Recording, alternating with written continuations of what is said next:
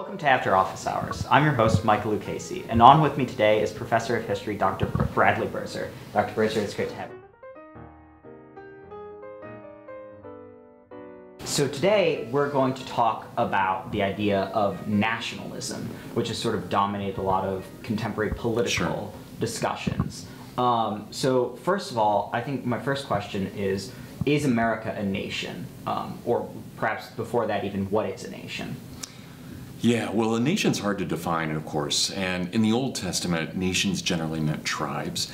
In our era, nations typically mean nation states, not quite a tribe, something that's much broader than that, usually protected by a centralized military, funded by some kind of centralized bureaucracy, and then an educational system to make sure that children grow up as good citizens. So the, the nation has become the dominant form of political manifestation really the primary institution over the last about 500 years, but it's taken a bit to develop in terms of a nation state. Nationalism, though, is something a little bit different from nation and nation state. So, my feeling is when we were founded as a republic, we were very much a republic. And I don't think it really lends itself towards nationhood. But after the Civil War, really during the Civil War, there's no doubt that we nationalized in a number of different ways. But that was a slow process. It's still in process, I think. The problem is so many of our modern nationalists, and it's they can be both left and right. I think our right-wing nationalists tend to think of America triumphant, and our left-wing nationalists tend to think of America repentant.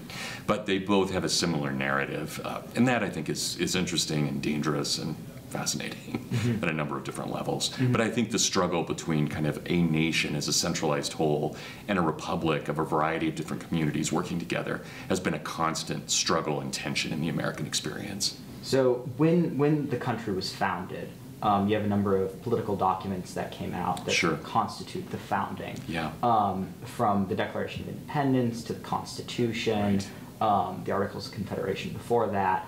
Do you think that there is a sense of nationalism in any of those documents, or do you think that the idea of republicanism was dominant in all of these? And, and what, what does that mean um, when we're interpreting those documents? Yeah, if it was a nationalism at the time of the founding, it was an extremely mild nationalism. It wasn't the kind of nationalism that we'll see develop under Teddy Roosevelt or Woodrow Wilson or any of the progressives.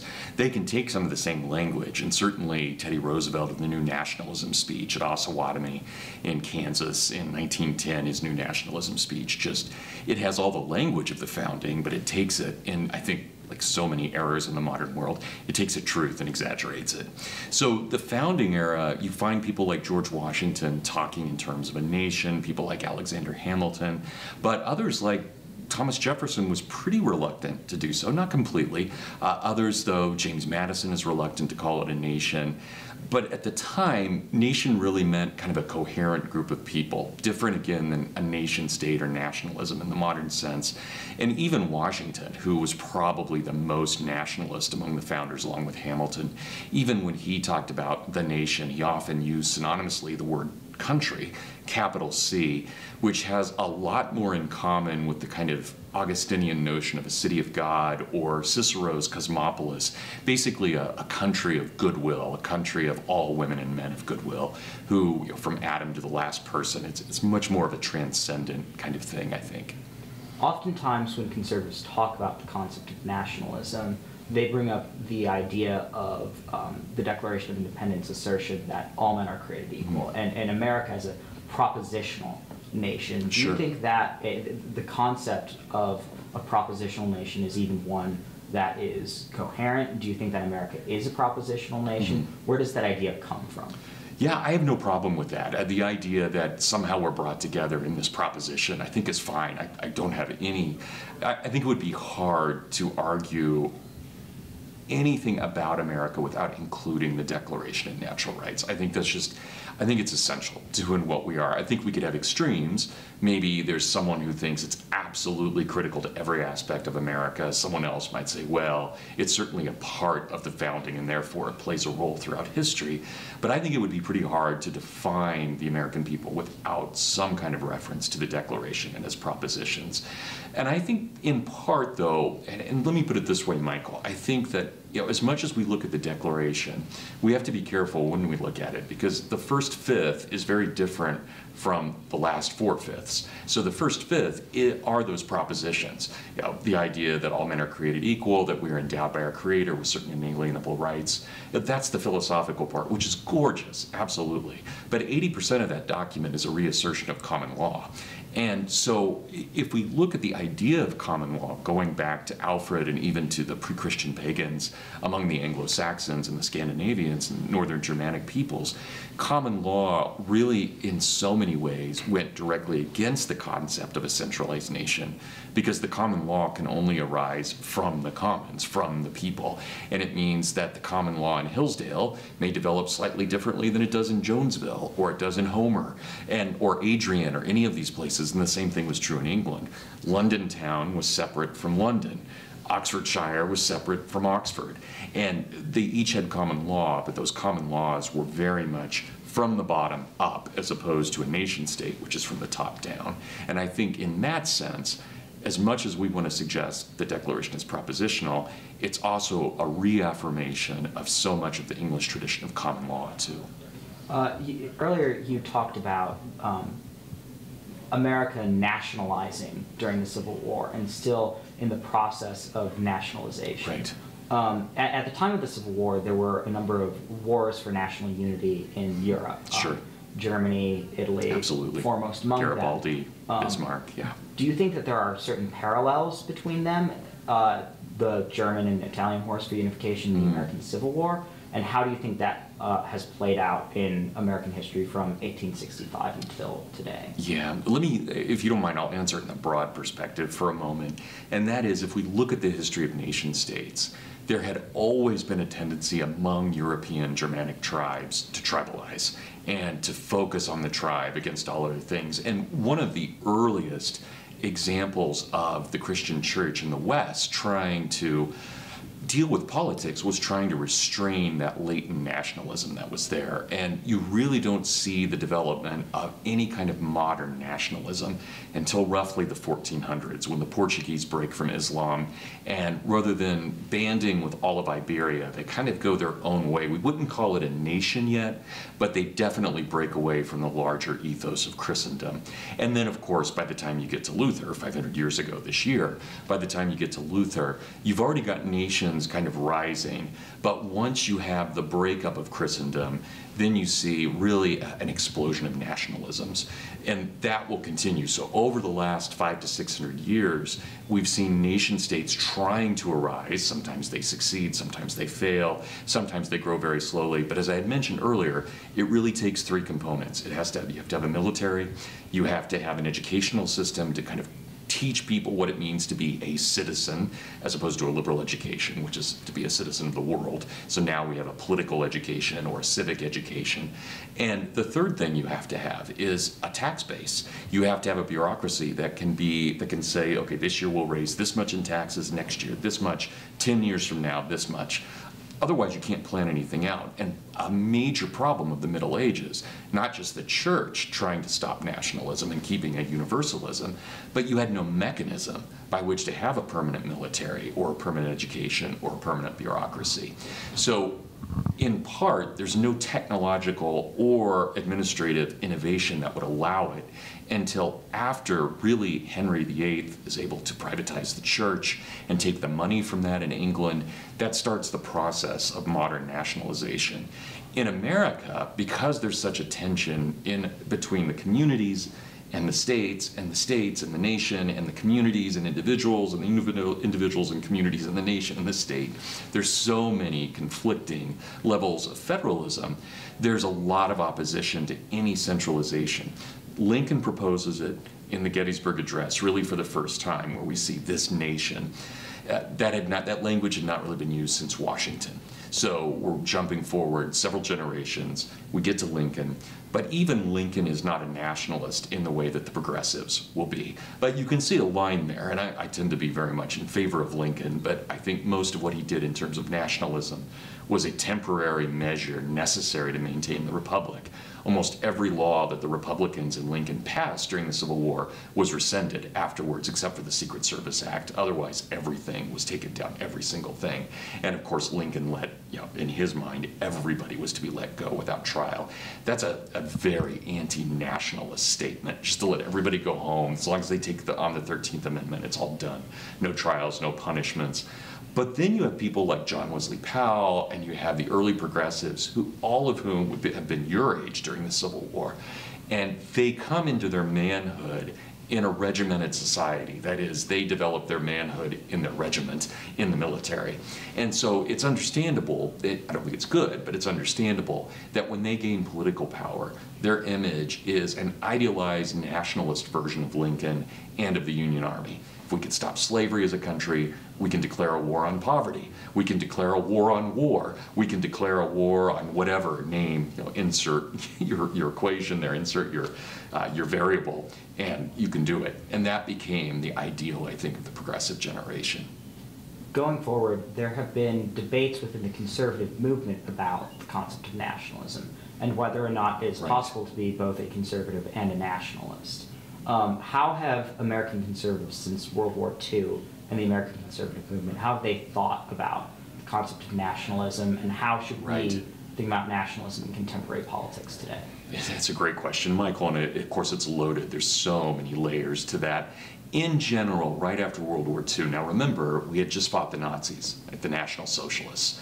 So it's pretty important to note that when American conservatism and libertarianism arose in the late 40s and early 50s, it was led by people like anarchist Albert J. Nock, quasi anarchist Bill Buckley, uh, very libertarian, later conservative Russell Kirk. Fred, uh, Frank Meyer, libertarian. So a lot of the people who were involved in the formation, first of all, they tended to either be Jewish or Catholic, which meant they were reluctant to be nationalists. Catholics are rarely, it's hard to find Catholic nationalists outside of Ireland and Poland. Uh, and so a lot of the nationalism that did exist in the world was seen as the enemy. And many people even argued that communism was just a form of Russian nationalism with a more kind of, maybe a more humane, not, not really, but that was the propaganda. So when conservatism and libertarian arose, the greatest enemy was not just ideology, it was the nation state armed with ideology. So most conservatism and libertarianism developed as an anti nationalist form of political thinking. So historically, it's very hard to find any American conservative or libertarian who embraced nationalism. They tended to, to find it abhorrent. And it's not, you'll always find patriotism. That's one thing. And you'll also find a lot of conservatives and libertarians are totally fine with Ireland and Polish nationalism. Those are always the exceptions where nationalism was good. And also the same thing with Judaism as nationalism, with Zionism. So, you know, especially if the Israelis have to take on all of the Arabs ganging up on them, then it's perfectly fine if the Israelis bond in Zionism and nationalism. But in America, it was not seen as a good thing at all. But most people, Eric Voegelin, Ray Bradbury, George Orwell, who of course is more of a socialist, but very much a part of the movement, uh, T.S. Eliot, Evelyn Waugh, Russell Kirk, all of these people would have been adamantly and were adamantly anti-nationalist. Going forward, how do you think that anti-nationalist streak in American conservatism, how do you think that uh, it, it it should apply itself to contemporary problems? I know that Yeah. oftentimes conservative thinkers talk about um, a fractured Sure. republic, and they want to sort of put the pieces back together. How, how can we do that without necessarily going Yeah. into the more ideological aspects of nationalism? Great question. Uh, let me let me put it this way, and I'll sound pretty extreme here, but I, I think it counts, uh, at least to a certain degree. In the American Civil War, we know that 94% of all Union soldiers volunteered. You jump forward two generations to World War II, and roughly only about 11% of American soldiers volunteered. So that to me is very interesting that you have a war where the vast majority of people are there because they believe it's the right thing to do. That doesn't mean that World War II soldiers didn't think it was the right thing to do, but they clearly weren't just signing up on day one like their grandfathers did in the Civil War. And I would go so far as to say that if you don't have a country where people are more than willing to defend that country, if you have to force it in some way, you've lost something very dramatic. That is, if you have to draft your soldiers your nation may already be done. Maybe not yet, maybe not tomorrow, and I don't mean to suggest it's not a good thing if, yeah, it, even if my fellow people, my fellow citizens don't believe in America anymore, maybe it's a good thing they're protecting it just for my family and the sake of our kids, so don't get me wrong. But I think it's very telling that once you have a draft instituted uh, in the 20th century, and always argued from kind of an American nationalist standpoint, to me that's very scary because it means you have no longer been able to persuade generations of what the right thing is. They now have to be forced. That's where I think nationalism is overall. The draft is one example. But I fear, so when you ask me, when you say, I think a lot of conservatives want to put the pieces back together, I'm completely with you. I just don't think the best way to do it is by the force of law, or I think it needs to be persuasion again, and it may take a generation or two. It's not an easy thing. It's not something we can solve with a law or a subsidy or a tax break. I think it's one of those things that we just have to cultivate again, and it may take a few generations to get back to it. Now, if that means we're going to end in civil war, if the country's going to rip apart in violence, then all bets are off. I mean, at that point, you know, yeah, that's that's where I'm very happy we have a Second Amendment. you know, I think that's very important. But you know, I think a lot depends on where we go from here. We've seen how fragile the fabric of the republic is over the last year. Yeah, we haven't seen the kind of violence we've seen at home and abroad since the 1960s. So it's a dangerous time. To what extent do you think that Donald Trump and the political movement that's coalesced around him is a resurgence of sort of progressive nationalism that you're oh, describing. I don't think there's any question that it is. And, and of course, you know, part of the reason we talked about this is you know, we were interested in this article from National Review, from Lowry especially, for the love of country, which argues for, as they call it, a responsible nationalism. And I understand where they're coming from. And I, I, I think both of those writers are fantastic. I love NR. But I think it's a very dangerous thing to flirt with. I think that would be like us saying, I think we should flirt with communism and see, could we have a conservative communism? To me, nationalism is an ism no better than communism. Now, patriotism is fine. I think that's I think it's great. We need to go back to the Declaration. That to me is patriotic. Looking at the Northwest Ordinance, looking at the Articles of Confederation, the Constitution, the Bill of Rights. That to me, and trying to understand where that comes from, that's patriotism. That's different than nationalism. For me, I have, I guess, a very, a very Burkean notion of nation, and that is, or patriotism, that is for us to love our country, our, must, our country must be lovely. Whereas nationalism strikes me as my country right or wrong. It should be my country right at least when things are working normally. What are what what do you think that some of those conservative lumin those anti-nationalist conservative luminaries what do you think they would say to Rich Lowry, Lowry and Ramesh Ponnuru today in response to their flirtations with a conservative nationalism? Well, I think again these are both very respected, very intelligent guys who are great writers. So I, they're making an argument that has to be discussed. I don't agree with them. I'm adamantly against what they're saying, but there's no way any conservative or libertarian can come out of 2016 and 2017 and dismiss populism and nationalism. That's just not possible. We have to come to grips with it in some way. I would guess that, you know, having read this article twice now, these guys are open to a discussion. I don't see them as throwing the gauntlet down. As I read the article, and especially rereading it this afternoon to get ready for this, I thought they're just trying to start a conversation. And I can appreciate that. I, was also very appreciative that at the beginning they say, you know, this is not going to go over well with a lot of libertarians and conservatives. And that my, my reaction, just immediately when I saw this, and I saw it you know, come over twi- uh, Twitter, uh, Twitter before I got the article, I just cringed. I mean, my wife and I, I both, I called down to her and I said, Dedra, you're not going to believe this. NR is defending nationalism, and we just, we both, you could hear it throughout the house. it's just it was it was painful. Like no, we can't go through this. Uh, but there it is, and you know I've, I've calmed down. so, and I, I, think the article has to be taken seriously. Um, I know that a lot of uh, freshmen and sophomores in their American Heritage classes, right around this time of the year, are talking sure. about the Declaration of Independence, the American founding, Alexis yeah. de Tocqueville and they're sort of thinking about the differences between patriotism and nationalism. Right. Um, while they're sort of exploring these ideas, do you have any advice for them on things that they should sure. read, things that they should be thinking about? Well, let me, if we want to talk about the proposition of America, let me put it this way. If we want to compare the great revolutions of the 1770s and 1780s, the American to the French, if we look at the Northwest Ordinance, uh, upon which this college is very much based. And of course, the whole Republican Party, 1854, comes out of a, a desire to uphold the Northwest Ordinance.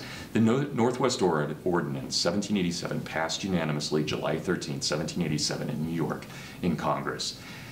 It states in Article 2 that all contracts, all contracts, any agreement between two parties, unless there has been fraud, they are viable and cannot be overturned by the political system. That to me is the greatest statement of American patriotism. It's the greatest statement of the American common law and our understanding of it. So if you, Michael and I, we agree to do something, start a school, start a business, start a religion, which I would get in big trouble for with my own religion. But if we did something like that, we have every right to do it as long as we're not being violent or fraudulent. Whereas the French Declaration says all sovereignty resides in the nation. And there can be no association, no body that exists outside of it. So that, that to me is terrifying. And I think the American experience is very much here's Lexington, here's Concord, here's South Boston, here's Boston. They want to ally with each other and beat the snot out of the British, good luck they should be able to do that. If they want to ally together and fight communities in the South in 1861, that's a part of the American tradition, not necessarily the best part, but a part of the American tradition as well.